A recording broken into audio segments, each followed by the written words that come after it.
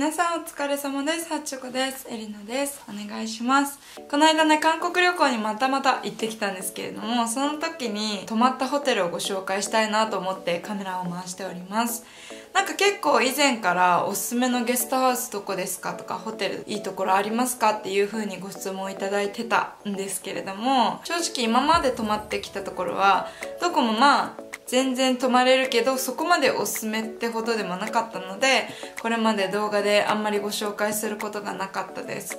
けど今回ご紹介するところは割と結構インスタ界隈で有名なホテルでどんな感じだったかっていうのをぜひ皆さんにお伝えしたいなと思っています。今回普通に友達と2人で行ったんですけど友達がねコンデムンの方でお買い物したいっていうことだったのでその近くのねミョンドンのホテルを取ってみました。でそこのホテルなんですけど名前がスモールハウスビッグドアホテル。最寄り駅としてはウルチロイック駅の2番出口が一番近いかなというふうに思います。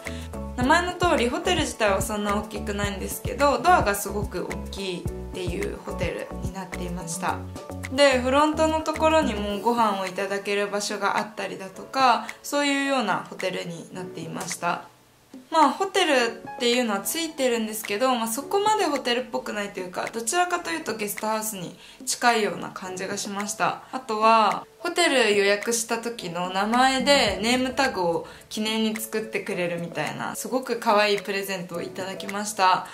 多分 3D プリンターとかかな？すごくね思い出に残るようななんかサービスもやってましたね。そう最大の特徴はとにかくお部屋が白いこと。まあ、もちろんシーツも白いし壁も白い。で床はグレーなんですけど、まあ、普通のホテルだったら結構カーペットのことが多いと思うのでそういうところがね映えるみたいな感じで有名だと思います。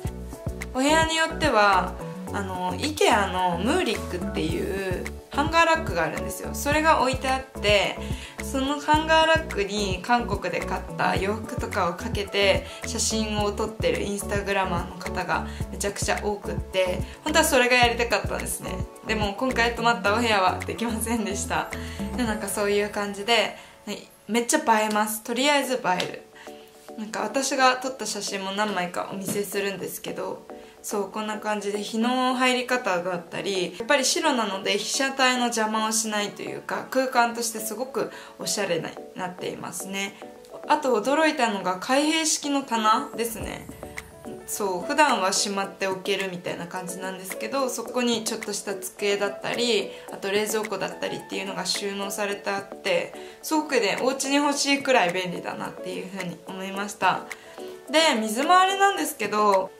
そこまで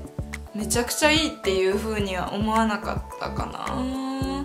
まあ綺麗なんですけどなんかタイルの張り方がやっぱりトイレ感がすごくあってで横も下もタイル張りだったのでちょっと寒い感じですかね。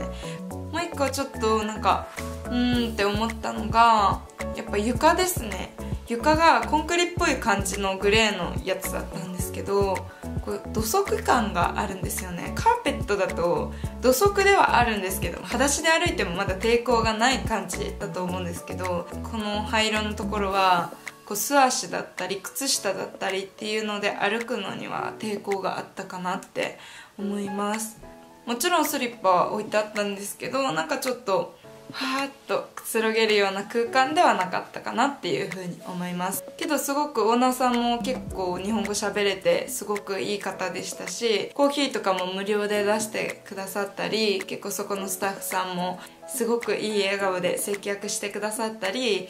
あの総じてねいい思い出っていう感じのホテルでした。じゃあね今回はこの間泊まってきたスモールハウスビッグドアホテルっていうホテルをご紹介させていただきました。もしミョンドンの方にたくさん用事があるよっていう場合はここのホテルを利用してみるのも一つじゃないかなっていうふうに思います。少しでも参考になったら嬉しいです。それではまた次の動画でお会いしましょう。バイバーイ。